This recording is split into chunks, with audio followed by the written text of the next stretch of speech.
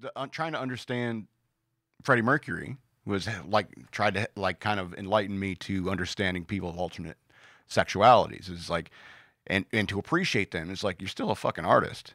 You know, I don't Mhm. care who you want to bang. If as long as you m- keep making kick-ass songs, Freddie Mercury, blow anyone you want. I don't care. Right. You know, because it has n- one has nothing to do with the other. Nothing.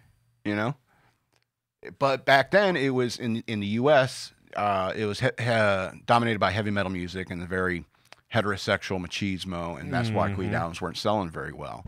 But then Highlander came out. Then of course you've got the the Bible influences. I don't want my kid listening to something that that insert uh, derogatory expletive here. for for homosexuals. Mhm. And it was funny is because like the whole the whole band got labeled as gay. Right. When Freddie was just bisexual, and he was the only one that was, as far as my understanding. I don't know, Mhm. but you know Brian never calls anymore. I tried to fuck him, but I'm kidding. I'm kidding. just I just want to bang a doctor, you know.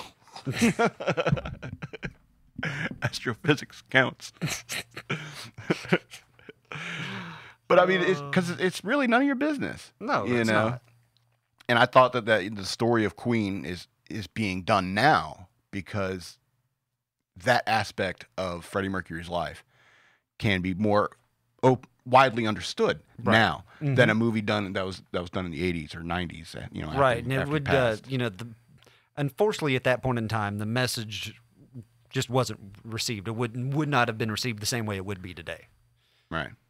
Absolutely. And I mean, of course, they're going to talk about his demise and um, the nature of it. Mm-hmm.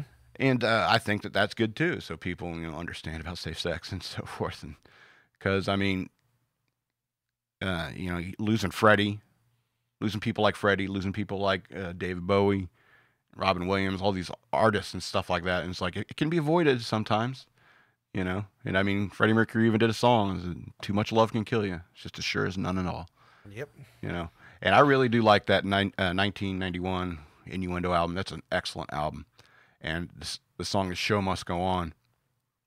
Oh, the haunting vocals by Freddie, and he mm-hmm. was so sick when he did that, so sick.